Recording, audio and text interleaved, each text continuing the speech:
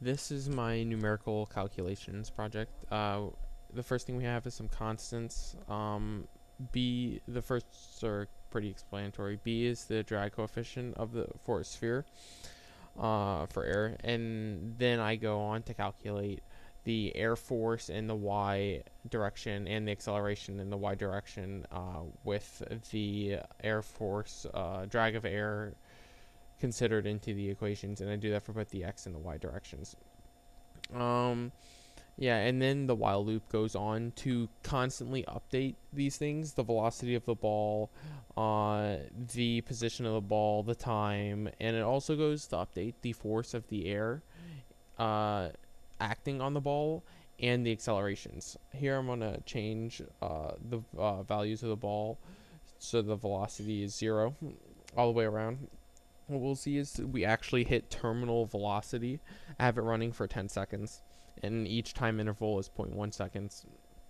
Um, as you can, if you uh, pause the video right there, you'll see that the uh, drag in the y direction from Air Force is almost 9.8 uh, meters per second uh, per second squared, or that's the force uh, being dragged on it.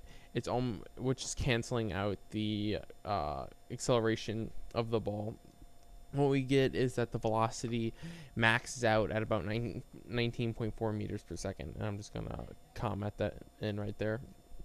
Now let's add an x direction and a y and see what we get what we get is this nice arc uh, looking type figure and as we can see it slowly decreases in the x direction until it eventually almost comes to a stop and same with the y it no longer goes up it proceeds to go down because the uh, drag of the or air resistance overcomes the that along with gravity overcomes the y direction and the uh, force air resistance over or stops it moving in the x direction.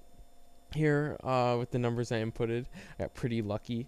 Uh, I ended up getting almost exactly where I started, just by coincidence. As we can see, the uh, numbers here, I have these printed out just in order to check to make sure things are working all right. Yeah.